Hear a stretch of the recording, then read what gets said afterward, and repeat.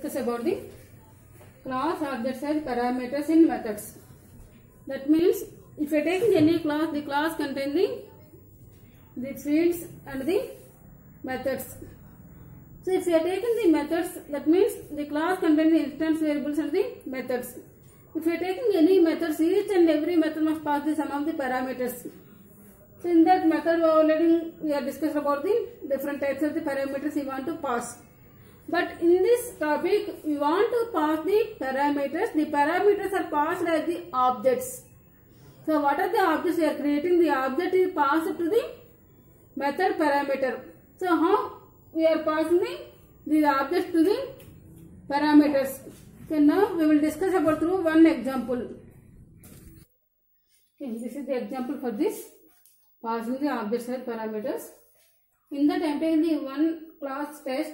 In that the variables are a, comma b. And I am taking the method test. In that I am passing two variables int i, comma j. And I am passing these i and j to the a and b. a equal to i and b equal to j. Next I am taking the other uh, method boolean type a equals test t. So the test is comes under the already one method. So in that I am creating the object of the class test t t. So in that I am passing the test t. That means I am passing the these object to the parameters of the method equals. So if test t dot a equal to a and t dot b equal to b, then return true. That means in that I am passing the objects. After passing the objects, if the both values a and b is equal to true, then I am written the value true.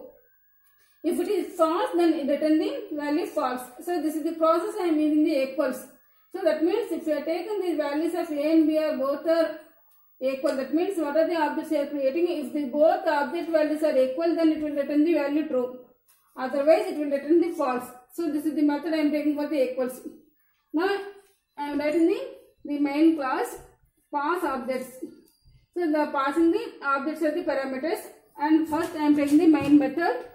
Next I am creating the objects test O B one equal new test hundred comma hundred two so in that I am taking the one of method test so in that I am taking the O B one so I am taking the class with in the class I am create the one object O B one in that I am pass values of hundred comma twenty two again I am creating another object of the class test that is O B two equal to new test again I am creating another object object of the class test O B three new minus 1 comma minus 1. That means in that I am creating the three objects of the class test. After that I am printing the values of this one. If OB1 equal to OB2 then it gives the value of OB1 dot equal of OB2.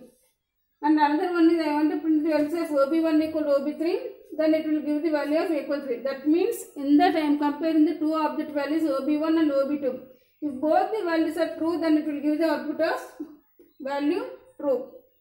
If these are not true then it will give the output as value true false. That means the first system dot out dot printed in this method this statement uh, output is comes under the true. That means OB1 equal to OB2. That means in that I am passing values of 122, 122. So both are equal, so it will give the value true. And if you take the, the second output, the system dot out dot println OB1 equal to OB3. See OB1 equal to 122 and OB3 equal to minus 1 minus 1. Both are not equal. If it is not equal, it will return the value of false. So it will give the value of false. So in that way, we are passing the these object as a parameter within the method.